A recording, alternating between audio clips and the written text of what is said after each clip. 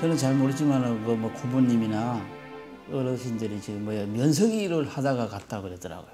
정말요? 그때 당시 뭐 시골이니까 뭐 면석이더라고 요즘 그거지만은 농사 짓고 이제 면에 갔다 오면 농사 짓고 그런 시기 정도죠. 그때 당시. 예. 예, 그때 뭐 결혼해 갖고 뭐 신혼 초죠.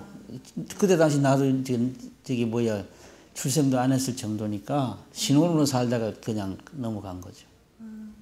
그때 당시 지금 할아버지하고 큰 집에 그 큰아버지하고 같이 그때는 대가족이 살았죠. 그때는 시골에는 살면서 이제 같이 살았다는 얘기죠. 그때. 는 이게 뭐야 누나네 집이지. 누나네 집에서 그게 숨어 지나다시피 하다가 안 보면은 못 붙잡아 가니까 눈에 띄면은 붙잡혀 갖고 넘어가게 되니까 숨어서 다닐 수밖에 없죠. 그때 당시 저게 뭐야 누나 집 자고 가라 그러는 걸 그래도 집에 가봐야 된다고 고향지 이제 본적지 이제 예천 감천에 올 와갖고 그 동네 사람들하고 몇 사람이 붙잡혀 간 것 같다고 그러더라고요. 일곱 명이더라고 양동네 한 동네지만 한 동네 일곱 명이 넘어갔더라고요. 꽃돌이가 같이 이제 그냥 납북된 거죠 쉽게 얘기해서. 그때 당시 뭐 그, 그때 당시 지금 지방에 있는 사람들이 자꾸 선도하는 사람이 있으니까 그 사람들 게임이라 그럴까 이왕 뭐 갔다 올 거 빨리 갔다 와야 된다 그래갖고 가고 가면 이제 가는 뭐 가, 가다는데 따라가다 보면 이제 거기서 이제 동네 사람들 뭐 비슷한 또래들 몇 사람들 몰려갖고 같이 넘어갔겠죠. 그리고 어느, 어느 장소쯤 가서는 이제 그 인계돼 갖고 그 선도하는 사람이 데리고 갔다는 얘기죠. 근데 거기서 빠져나올 수가 없다는 얘기지 개인이 이제 그때부터는 군대 지원할 나이 되고 이제 군대 갈 나이 되니까 이왕 가끔 빨리 갔다 와 오라는 식으로 이제 그런 식으로 유도하다 보니까 그렇게 된 거죠. 아 고모도 몰랐죠. 가고 난 뒤에 알았지. 예를 들어서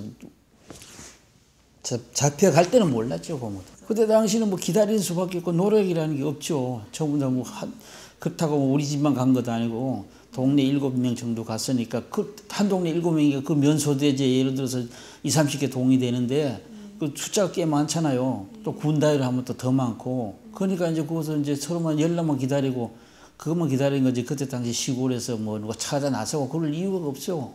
찾아 나설 수도 없고 그때는. 아 그때 도움이 주는 게 면서 면에서 나서기는 이런 도로 불이행이 된 돌아오니까 나서지도 못하죠. 지금도 마찬가지로 예를 들어서 지금 넘어갔다 그러면은 면석이고 예를 들어 공직에 있으면 더 불리하니까 그 내색을 뭐 하는 거죠 그때. 그 일절이 없었죠 뭐.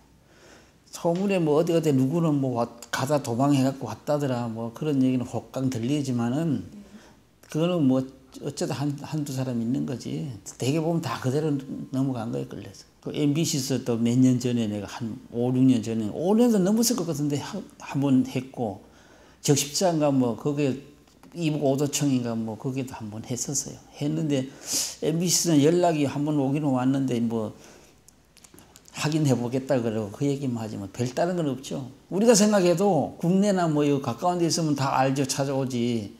뭐 이북이나 저저 뭐 저 저쪽 중국이나 만주 쪽으로 넘어가면 또 몰라도. 다른 데 같으면 그 본인이 다 커갖고 나가기 때문에 찾아오죠. 근데 저게 뭐 이북이나 넘어가서 중간에 가다 뭐 잘못됐거나 그러겠니까 안못 찾아오는 거지. 요즘 같이 좋은 세상에 이북도 돈 많이 있으면 찾아올 판인데 다른 데 있으면 왜못 오겠어요. 그렇다고 이제 뭐 세월이 많이 흘렸으니까 뭐 생사나 알고 뭐 그래 빨리 정리나 됐으면 좋겠어요. 뭐 내가 보기. 근데 다들 연세가 많아갖고 지금까지 살아 있는다는 것도 불가능할 것 같아요. 한 80세가 됐는데 저는 하고 싶은 말이 뭐 있겠어요 지금요. 뭐 언젠가 한번 만났으면 만나보고 싶은 건 사실이지만 그게 뭐 마음대로 되겠어요.